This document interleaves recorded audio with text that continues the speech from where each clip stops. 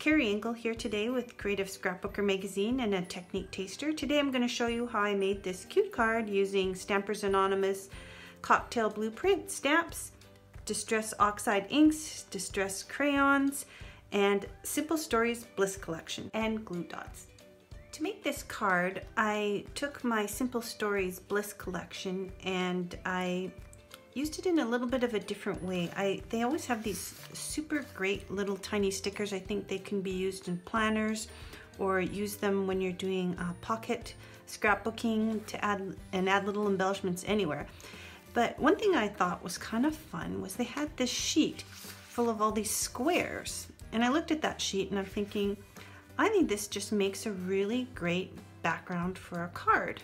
So I took the sheet and I inked it with some distress ink around the edge. I used uh, the gathered twigs and I just inked around the edge and I used the, the tab sticker here on the corner to make a background for my card.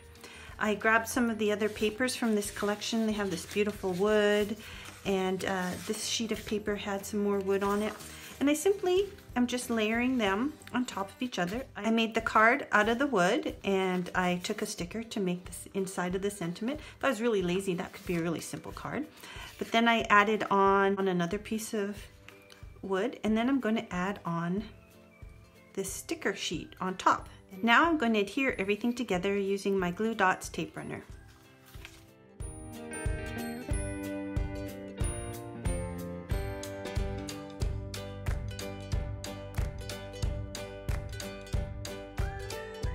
We're going to add a really fun Stampers Anonymous cocktail to the top of this card.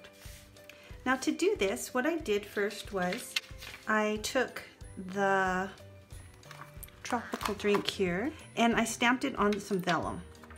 go right on top and what we're going to do is we're going to stamp this again on some cardstock magic like this and we're going to color this and fussy cut it and lay it on top. So this has many layers and lots of fun.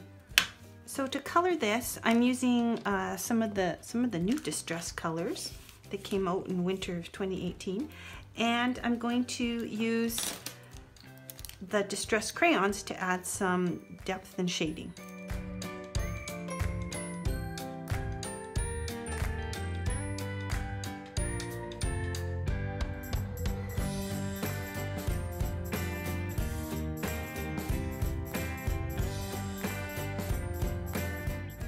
Add some shading, I simply use the water brush directly on the crayon and add in my shading.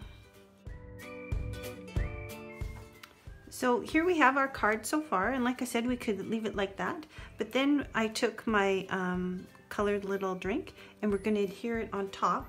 Could add some more little fun stickers because these are clear stickers that came in the collection. And there's one here that says Hello Sunshine that matches that one exactly. So I'm gonna just um, lay it down directly on top there so then create a little bit of fun.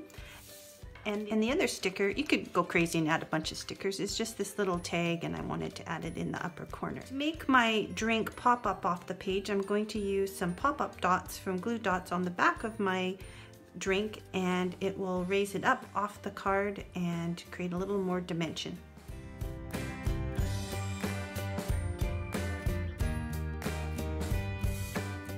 To finish off this card, I uh, found a fun brown envelope somewhere in my stash and I added some more of the fun stickers from the collection and it makes a really great uh, little gift to give to someone.